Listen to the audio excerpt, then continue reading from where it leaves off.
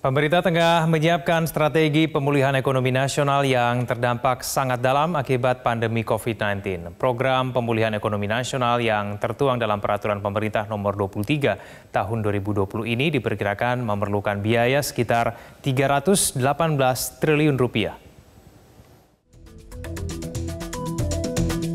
Pemerintah menyiapkan program pemulihan ekonomi yang akan diterapkan berdasarkan peraturan pemerintah nomor 23 tahun 2020. Peraturan pemerintah tersebut antara lain mengatur penyertaan modal negara kepada BUMN, penempatan dana pada bank umum, penempatan investasi pemerintah, penjaminan hingga pembiayaan. Dalam upaya pemulihan ekonomi nasional, pemerintah menyiapkan dana yang bisa bersumber dari anggaran pendapatan dan belanja negara, APBN atau sumber lainnya, berdasarkan perundang-undangan. Pemerintah juga dapat menempatkan modal negara atau PMN kepada badan usaha milik negara BUMN dan anak perusahaan BUMN yang terdampak COVID-19.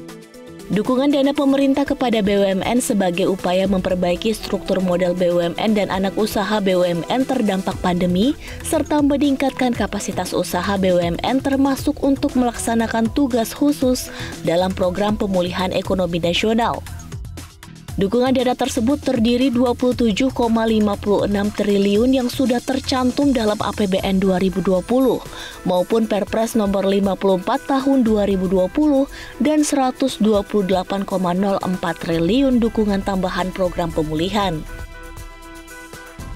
Selain itu, pemerintah juga menempatkan dana di perbankan dalam rangka restrukturisasi sebesar 35 triliun rupiah.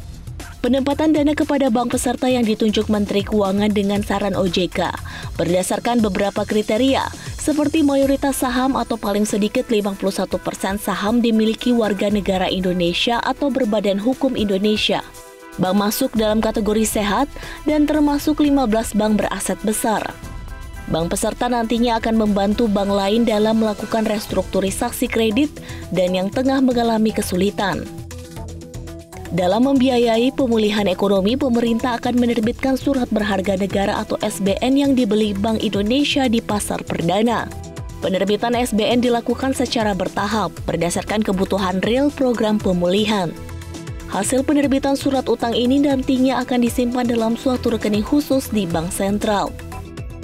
Total anggaran untuk membiayai program pemulihan ekonomi nasional diperkirakan mencapai 318,09 triliun rupiah.